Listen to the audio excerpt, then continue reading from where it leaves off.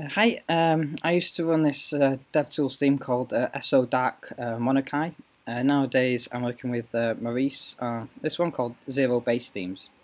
And um, the way that SO Dark Monokai used to work is that you could go directly to um, this path where this custom CSS lived and if you changed that you'd see that reflected in the Chrome DevTools. Um, it works a bit differently now and what we're trying to do is um, with zero base themes is make it so that other people can uh, collaborate and put their own uh, create their own theme easily and that everyone can sort of contribute to um, global style sheets that are going to help everyone's theme. Um, and yeah that's about it. So how you get set up with this is grab um, a copy of it. So um, uh, I use some uh, custom aliases here, so that's uh, G for Git and C for clone. So that's and also O will open it up in Finder. So that's now copied that there. So if I open this up in Sublime Text, um, we've got the themes here. So this is the, the default one. Um, Maurice's is there, the Zero Dark Matrix, and mine S10 when Monokai. So um, we come across here in the less folder and then we've got one for Canary and one for build, uh, sorry, stable. Um, so here this is going to pull in the Zero Dark Matrix theme. So after you've done that, you're going to want to uh, go into the directory, do an npm install. Uh, this will get all the awesome grunt stuff. Then when it's done this, we'll do a, a grunt watch and that'll watch for any changes here. Okay, so if I say change this to mine, which is just 10 when one okay, save that.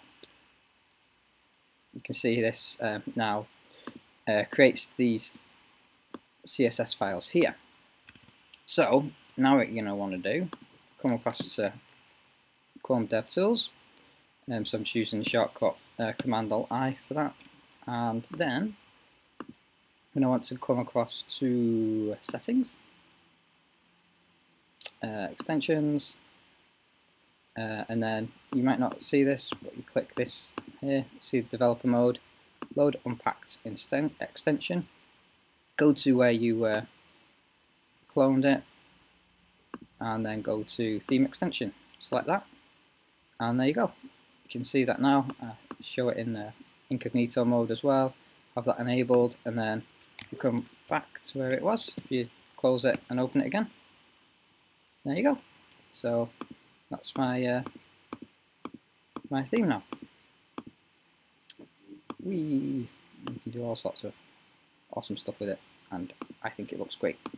Um, so if you used to do your own, what you do is way up, you take a copy of the theme template,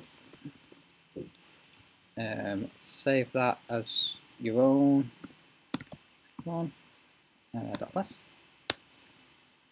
Then go to the, if you're using Canary or Stable, and then type it in there, and then you can change all these different things. So let's say, I don't know, let's just make all these red for a second hopefully we'll see some stuff change. So if I go to Chrome again, extensions, yeah, that should be there, So that should automatically reload. Let's see. Yeah, there you go. So that's how easy it is, and you can change all your styles there, open and close it again, and you'll see the changes. So hope that helps. Cheers.